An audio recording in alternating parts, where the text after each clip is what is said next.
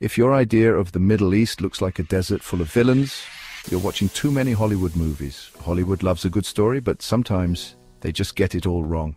Picture this, rugged landscapes, mysterious music, and a villain with an accent thicker than hummus. That's Hollywood's go-to recipe for portraying Arabs and Middle Easterners.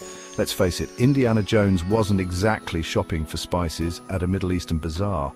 More like dodging every stereotype in the book. And don't get me started on Aladdin.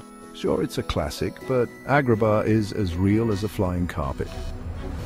In reality, the Middle East is a vibrant tapestry of cultures, languages and history, not just a backdrop for exotic tales. Did you know that the Arab world gave us algebra, coffee and some of the oldest universities? Yep, the next time you solve for X, thank an Arab scholar. Hollywood tends to paint with broad strokes, turning a rich and diverse culture into a one-size-fits-all caricature. Remember, diversity isn't just a buzzword, it's a reality worth representing. So, next time you're watching a blockbuster, ask yourself, is this portrayal authentic or just another Hollywood mirage? Let's celebrate real stories and characters who break the mold because everyone deserves to see themselves represented accurately on the big screen. Stay curious, stay informed, and remember not everything in Hollywood is as it seems.